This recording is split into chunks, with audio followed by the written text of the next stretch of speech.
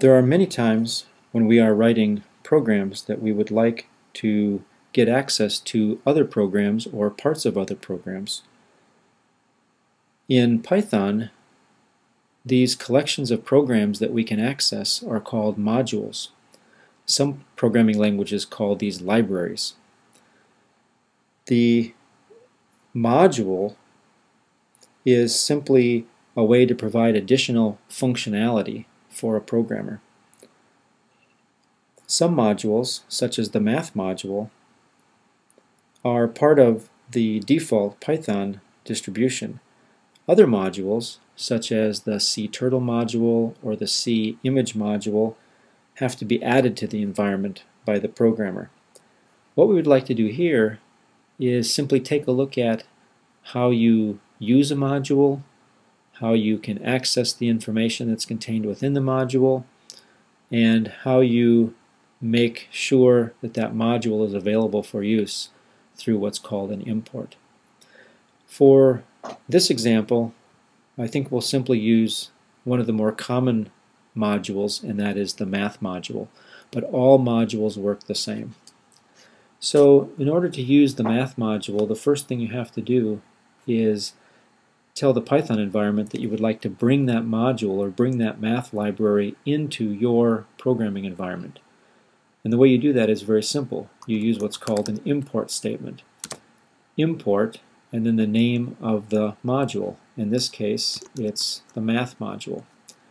Once you've done that import, notice that nothing was returned because the result of the import statement is to simply make that connection between your environment and now that external module.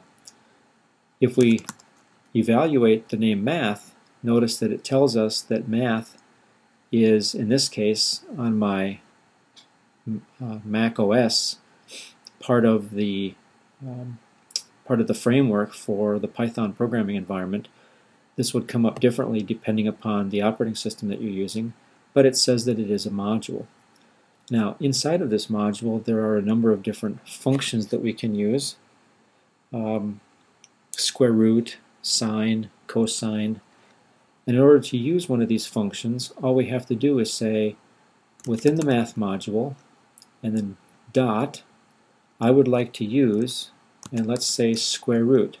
So math dot square root says, in the math module, I want to access the square root function and then I have the provided information.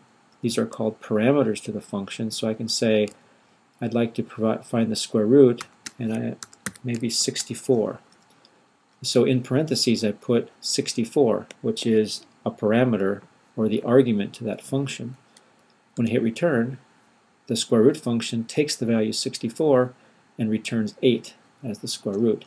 And of course I can do that again. I can say what is the square root of 100 it's going to tell me 10. I can say what is the square root of 34.6 and you can see it's a precise floating point number. So the concept of math as a module and square root as a function and then an argument to that function to be able to actually do the evaluation provides us with a lot of power because the square root function now that's part of that module is something that we don't necessarily know the details about, but we can bring that module in and make use of it. If I evaluate math.square root without providing any additional information, notice that it tells me that it is a function that is built into this module. What if I'm unsure what kinds of functions might be available within a particular module? Well, it turns out that there's a very nice system that I can use called the help system. And I can say help, and then I can give it the name of the module, in this case math, and when I hit return, what's going to happen is I'm going to get a list of all of the things that are contained within that module. And so if I go all the way back up here to the top, you can see that it says that this is a module providing mathematical functions.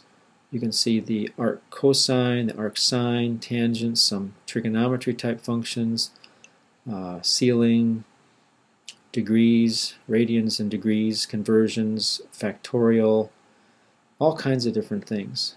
And if we look for, farther enough down here, we can see the square root function that we were using right here. Square root returns the square root of the value that I give it. And so the help system is very useful because it provides me with a way to sort of query the module and find out what's contained within it. Notice also in this case that there are two constants that are part of the module, the constant e and the constant pi. So for example, if I said math.pi, that's not a function, that's actually a number, and it would return in this case the value of pi.